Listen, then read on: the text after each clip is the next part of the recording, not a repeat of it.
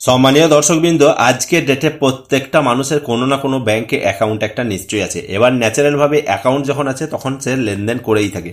এবার দেখুন seventy five percent মানুষ কিন্তু জানে না যে অ্যাকাউন্ট লেনদেনের আসল নিয়মটা কি। শুধুমাত্র লেনদেন নয়, অ্যাকাউন্টটাকে কীভাবে সিকিউর রাখা যায় এবং টাকা কতটা জমা রাখা উচিত, সেটাও কিন্তু সেভেন্টি ফাইভ পার্সেন্ট মানুষ কিন্তু জানেন আজকের ডেটে কারণ দেখুন, অনেকজন বাধ্য হয়ে অ্যাকাউন্ট খুলতে হয় আজকের ডেটে যেমন ধরুন, লক্ষ্মী ভান্ডার পারপাসের জন্য অ্যাকাউন্ট খুলতে হয় বা ধানের টাকা যাদের ঢুকে, তার কারণে একটা অ্যাকাউন্ট খুলতে হয়। কিন্তু সেসব ব্যক্তিরা কিন্তু জানে না যে অ্যাকাউন্ট লেনদেনের আসল নিয়মটা কি। তো আজকের ভিডিওতে আমরা সেই সব লেনদেন নিয়ে একটু আলোচনা করব, যে অ্যাকাউন্টে কত টাকা রাখা উচিত এবং জমা, টাকা জমা ও তোলার কি নিয়ম রয়েছে। তো ভিডিওটি খুবই গুরুত্বপূর্ণ ভিডিও স্কিপ না করে সম্পূর্ণ দেখবেন। চ্যানেলে নতুন হলে অবশ্যই চ্যানেলটিকে সাবস্ক্রাইব করে পাশে থাকবেন। তো এবার দেখুন ফার্স্ট পেজে যে পোস্টটি করা হয়েছে bank cash deposit limit to avoid income tax notice তো ব্যাংকে ডিপোজিট করার নিয়মটা কি? ইনকাম ট্যাক্স নোটিসে যাতে আপনার না আসে মানে ইনকাম ট্যাক্স ডিপার্টমেন্টের আওতায় যাতে আপনি না পড়েন, তার জন্য কি করতে হবে? দেখুন ব্যাংকে কত টাকা নগদ জমা রাখা উচিত? এ বিষয়ে জানার আগে আমাদের জানতে হবে ব্যাংকে কত ধরনের অ্যাকাউন্ট হয়ে থাকে? কোন অ্যাকাউন্টে ডিপোজিটের সীমা কত রয়েছে, সেক্ষেত্রে আমরা বুঝতে পারলে আরও বেশি সুবিধা হবে। কারণ দেখুন, ব্যাংকে অনেক ধরনের অ্যাকাউন্ট রয়েছে, যেমন সেভিংস অ্যাকাউন্ট, কারেন্ট অ্যাকাউন্ট, এছাড়াও কিন্তু অনেক ধরনের অ্যাকাউন্ট আছে। প্রত্যেকটা ধরনের অ্যাকাউন্টে কিন্তু প্রত্যেকটা আলাদা আলাদা ক্রাইটেরিয়া আছে। তো আজকে আমরা একটার পর একটা দেখতে থাকব। তো চলে যাই সেকেন্ড পেজে এবার এখানে দেখুন, ব্যাংক অ্যাকাউন্টের প্রকারভেদ। ব্যাংকে সাধারণত দুই ধরনের অ্যাকাউন্ট হয়, যেমন সেভিংস অ্যাকাউন্ট এবং কারেন্ট অ্যাকাউন্ট। সাধারণ ব্যক্তি সকলেই কিন্তু সেভিংস অ্যাকাউন্ট ওপেন করে থাকেন এবং যেখানে বড় বড় বিজনেস হয়, সেক্ষেত্রে কারেন্ট অ্যাকাউন্ট ওপেন করে থাকেন দেখুন, যারা কারেন্ট অ্যাকাউন্ট যেসব ব্যক্তিরা ওপেন করে, তারা কিন্তু অ্যাকাউন্ট সম্বন্ধে মোটামুটি একটু নলেজ আছে, ভালো রকম।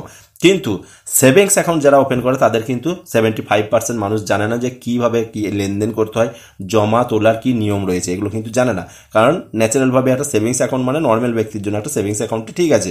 কারেন্ট অ্যাকাউন্ট ব্যক্তিরা কিন্তু এর সম্বন্ধে একটু ধারণা রয়েছে। এবারে দেখুন সেভিংস অ্যাকাউন্ট কার কারেন্ট অ্যাকাউন্ট সেভিংস অ্যাকাউন্টের ক্ষেত্রে জমা করা টাকার ওপর সুদ পাওয়া যায়। কারেন্ট অ্যাকাউন্টের ক্ষেত্রে জমা করা টাকার ওপর কোনো রকম সুদ পাওয়া যায় না।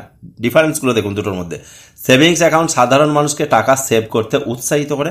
বড় বড় বিজনেসের সেক্ষেত্রে কারেন্ট অ্যাকাউন্ট ব্যবহৃত হয়। সেভিংস অ্যাকাউন্ট থেকে ততটাই টাকা তুলতে পারবেন যতটা টাকা ব্যাংক অ্যাকাউন্টে আপনার রয়েছে। কিন্তু কারেন্ট অ্যাকাউন্ট থেকে বেশি টাকা তোলার সুবিধা রয়েছে। মানে বুঝতে পারছেন? এখানে সেভিংস অ্যাকাউন্ট আর কারেন্ট অ্যাকাউন্টের দুটোর মধ্যে আমি কম্পেয়ার করে দিলাম। দুটোর মধ্যে ডিফারেন্টটা দেখে নিন। এবার দেখুন সেভিংস এবং কারেন্ট অ্যাকাউন্টে নগদ টাকা জমা রাখার সময় সীমা। এবার প্রথমে আমরা দেখব সেভিংস অ্যাকাউন্টে আপনি সর্বোচ্চ কত টাকা নগদ জমা রাখতে পারবেন। কারণ বেশিরভাগ মানুষ সেভিংস অ্যাকাউন্টে ব্যবহার করে থাকেন। সেভিংস অ্যাকাউন্টে আপনি সর্বোচ্চ যত খুশি টাকা রাখতে পারেন, ভালোভাবে দেখবেন। অর্থাৎ সেভিংস অ্যাকাউন্টে আপনি যত খুশি টাকা রাখুন না কেন, দশ লাখ, পঞ্চাশ লাখ বা এক কোটি ইত্যাদি ক্ষেত্রে আয়কর বিভাগ থেকে কোনো রকম নোটিশ আসবে না এবং সরকার থেকেও কোনো রকম ট্যাক্স কাটা হবে না। মানে বুঝতে পারছেন আপনি? একটা সেভিংস অ্যাকাউন্টে দশ লাখ, পঞ্চাশ লাখ বা এক কোটি যাই টাকা রাখুন না কেন, আপনাকে কোনো রকম নোটিশ আসবে না ইনকাম ট্যাক্স ডিপার্টমেন্টের তরফ থেকে বা কোনো রকম সরকার থেকে ট্যাক্স কাটা হবে না। এবার কারেন্ট অ্যাকাউন্টে দেখুন সেভিংস অ্যাকাউন্টের মতো কারেন্ট অ্যাকাউন্টও একই নিয়ম রয়েছে। কারেন্ট অ্যাকাউন্টও আপনি সর্বোচ্চ যত টাকা খুশি রাখতে পারবেন। এবার গুরুত্বপূর্ণ পোস্টটি দেখুন সেভিংস অ্যাকাউন্টে একটি আর্থিক বছরে কেউ একজন ব্যক্তি তার সেভিংস অ্যাকাউন্টে দশ লাখ বা দশ লাখের বেশি জমা করলে, ভালো করে দেখেন বা তোলেন, তাহলে এমন পরিস্থিতিতে আয়কর বিভাগ থেকে নোটিশ আসতে পারে। ভালোভাবে দেখবেন। দশ লাখ টাকা বেশি জমা করেন বা তোলেন মানে আপনি যদি একসঙ্গে দশ লাখ টাকা ক্যাশ ডিপোজিট করেন বা দশ লাখ টাকা উইথড্রল করেন, তাহলে কিন্তু ইনকাম ট্যাক্সের ডিপার্টমেন্টের তরফ থেকে আপনার কাছে নোটিশ আসতে পারে। এরপর আপনাকে আপনার আয়ের প্রমাণ ইনকাম ট্যাক্স ডিপার্টমেন্ট অফিসারদের দেখাতে হতে পারে। আপনি যদি সোর্স অফ ইনকাম প্রমাণ করতে না পারেন তাহলে আয়কর বিভাগ আপনার ওপর আইনত পদক্ষেপ তো নেবেনই। সাথে সাথে দেখুন ইনকামের ওপর সিক্সটি পার্সেন্ট ট্যাক্সও হাসিল করে নেবে। বুঝতে পারছেন? এর কিছু ক্রাইটেরিয়া আছে। আমি যেরকম আগে বললাম যে যত খুশি টাকা রাখতে পারেন, কিন্তু কোনো রকম আপনার ইনকাম ট্যাক্স ডিপার্টমেন্টের তরফ থেকে নোটিশ আসবে না। কিন্তু এখানে ক্রাইটেরিয়াগুলো দেখুন। একের বেশি সেভিংস অ্যাকাউন্ট থাকলে সমস্ত অ্যাকাউন্ট থেকে দশ লাখ টাকার বেশি ট্রানজ্যাকশনের উপরে আয়কর বিভাগ নোটিশ পাঠাতে পারে।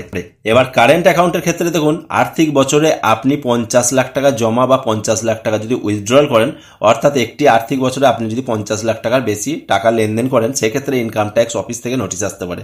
এরপর ইনকাম ট্যাক্স ডিপার্টমেন্ট আপনার ওপর তদন্ত করা হবে এবং আপনার টাকার উৎস সম্পর্কেও জানতে চাওয়া হবে। ভালোভাবে দেখবেন।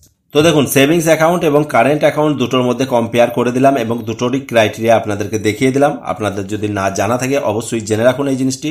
তো চলুন ইনফরমেশন যদি ভালো লেগে থাকে, ভিডিওতে একটা অবশ্যই লাইক দেবেন। এরকম গুরুত্বপূর্ণ আপডেটের জন্য চ্যানেলটি সাবস্ক্রাইব করে পাশে থাকবেন। তো চলুন আজ এ পর্যন্তই।